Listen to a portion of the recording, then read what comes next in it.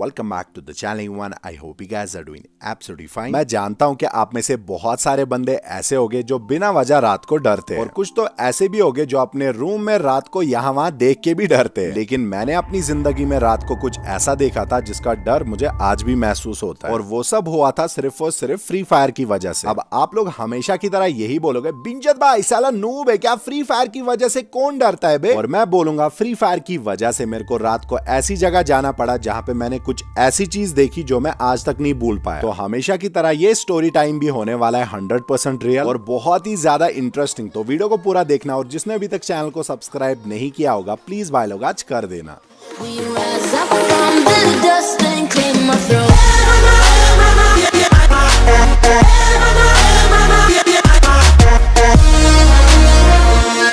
ये कहानी उस टाइम की है जब हम लोग रैंक पुश किया करते थे। और आप तो ये चीज़ जानते होगे, उस टाइम रैंक पुश करने में बहुत ज़्यादा टाइम लगता था। तो हम लोग रात भर खेला करते थे। मुझे आज भी याद है, मेरे कज़न ब्रदर की शादी थी और मैं फिर भी गेम के साथ ही बिज़ी था। लेकिन उसकी शादी अटेंड करना ज़रूरी था तो मैं वहाँ चला गया। और फिर हुआ क्या, वहाँ पे भी मैं गेम ही खेल रहा था। सच में यार, सब लोग मेरी इस आदत से बहुत ही ज़्यादा तंग हो गए थे। लेकिन मेरे दो फ्रेंड्स ग्लोबल पे थे तो उनकी हेल्प करना ज़रूरी था। मुझे आज भी एग्जैक्ट टाइम याद है, रात के बजे थे दस ग्यारह और मैं गेम खेल रहा था। और अचानक मैंने देखा मेरे फ़ोन की बैटरी लो हो गई। और मैं उन दोनों आईफोन पे खेलता था। और आपको तो आईफोन का बैटरी बैकअप पता ही होगा। मुझे लगा था शायद चार्जर बैग में ही होगा, लेकिन मैं वो घर पे ही भूल गया था। तो मैंने सब कज़न से चार्जर मांगा, लेकिन किसी के पास भी आईफोन नहीं था। और कज़न के घर से मेरा घर दूर था, सिर्फ़ चार किलोमीटर तो मैंने माँ से घर की चाबी ली और बाइक पे मैं कज़न के साथ घर आ गया। लेकिन साला मेरी किस्मत इतनी खराब थी, जो मैं घर के दरवाजे का लॉक खोलने गया, मेरे को ये चीज़ पता चला, मेरे पास चाबी नहीं मतलब या तो वो चाबी रास्ते में गिरी थी, या तो वो कज़न के ही घर पे थी। पहले मैंने सोचा कज़न के घर वापस जाता हूँ, लेकिन फिर मैंने सोचा टाइम वेस्ट होगा, साला गेम जो खेलनी थी। तो अब मेरे पास एक ही ऑप्शन था, जुगाड़।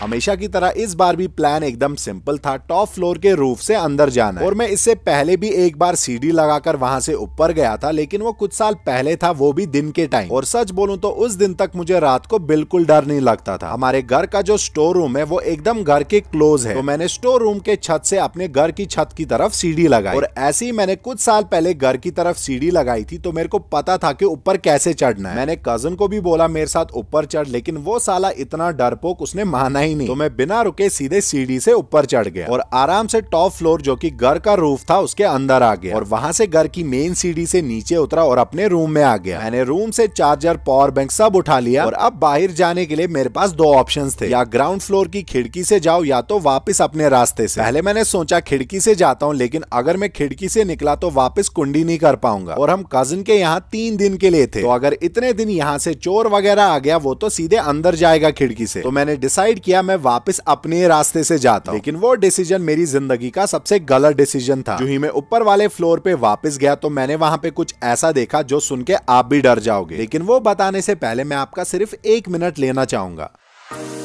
What is FamiSafe? Track your kids' whereabouts. View the history location so as to assure they have not been to unusual places. Set geofences as safe zones and get alerts when your kid enters or leaves geofences. Based on different situations, you can control time on screen to limit the usage of device, like at school or bedtime. Monitor how your kids use their phones. Learn how frequently your kid's phone is being used during a day. Block app usage during study or sleep time. Keep your kid away from potential online threats by blocking any unwanted or inappropriate websites with harmful content, such as pornography, gambling, violence, etc.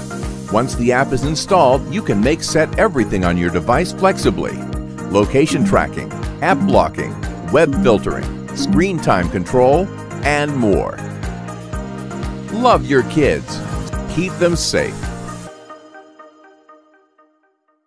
मुझे आज भी याद है जब मैं top floor पे वापस आ गया और मैं उस सीढ़ी से वापस उतरने लग गया जो मैंने बाहर से लगाई थी। मैंने सिर्फ़ सीढ़ी पे पैर डाले थे, लेकिन मैं अभी उतरा नहीं था। मुझे अचानक टॉप फ्लोर के अंधेरे की तरफ़ नज़र पड़ गई। तो वहाँ पे एक बड़ा सा आदमी था, सफ़ेद कपड़े लगाकर। उसका फेस दिख नहीं रहा था क्योंकि बहुत ज़्यादा अंधेरा था। साला, मेरी जान ही निकल गई। मैं इतना घबरा गया दैट मैं सीढ़ी लेकर स्टोर रूम के छत पे गिर गया। और इतना ज़ोर से गिर गया, मेरे मुँह से चीख निकल गई। और सच बोलूँ तो पूरी कॉलोनी ने मेरी वो चीख सुनी। मेरा कज़न जल्दी से स्टोर रूम के छत पे आ गया और मैं सच बोलूँ तो मैं इतना ज़्यादा डर गया था, मैं उठ भी नहीं पा रहा था। और इतनी देर में सारे पड़ोसी वहाँ पे पहुँच गए। और मुझे स्टोर रूम के छत से नीचे उतारा। मुझे आज भी याद है, कुछ पड़ोसी मेरे को बोल रहे थे, क्या हो गया? कुछ मेरे को पानी पिला रहे थे। लेकिन मैं इतना ज़्यादा डर गया था कि मैं कुछ बोल भी नहीं पा रहा था। कज़न ने उनको सारी बात बताई। लेकिन साला कज़न भी परेशान था कि मैंने चिल्लाया क्यों और मैं नीचे कैसे गिर गया। तो थोड़ी देर में पानी वगैरह पी के मैं नॉर्मल हो गया और मैंने उनको बताया, ऊपर कोई सफ़ेद सा आदमी और उन लोगों को लगा शायद घर में कोई चोर है। उनमें से एक पड़ोसी पुलिस में ही काम करते हैं। तो वापस सीढ़ी लगाकर वो ऊपर चढ़ गए। लेकिन घर में कोई चोर वगैरह नहीं था। और उन्होंने ये बोला जिसको मैं सफ़ेद आदमी समझ रहा था वो वहाँ पे सफ़ेद कपड़ा सुखाने के लिए है। फिर मैंने भी वो चीज़ मान ली वो शायद कपड़ा ही था लेकिन जितना मुझे याद है वो इंसान जैसा ही था। फिर डेढ़ साल तक मैं ऊपर भी नहीं चढ़ता था। लेकिन फिर फाइनली मेरे दिल से वो डर निकल गया। अब मैं रोज दिन में एक बार ऊपर तो जाता ही हूँ क्योंकि मेरी बिल्ली उधर ही खेल रही होती है। तो क्या आपकी भी लाइफ में कोई गोस्ट स्टोरी है? मेरे को कमेंट्स में ज़रूर बोलना। और अगर आप चाहते हो कि ऐसे और स्टोरी टाइम वीडियोस आए तो इस वीडियो पे लाइक टारगेट है, एक लाख लाइक का कंप्लीट करा दोगे तो आगे भी और ऐसे मज़ेदार स्टोरी टाइम वीडियोस आएँगे। और अगर आपने इस सीरीज़ के बाकी पार्ट्स नहीं देखे होंगे, आपको डिस्क्रिप्शन में सारे लिंक्स मिल जाएँगे। तो यही था इस वीडियो में। अगर आपको वीडियो पसंद आया होगा प्लीज़ लाइक कर देना इस वीडियो पे चैनल को भी सब्सक्राइब कर देना।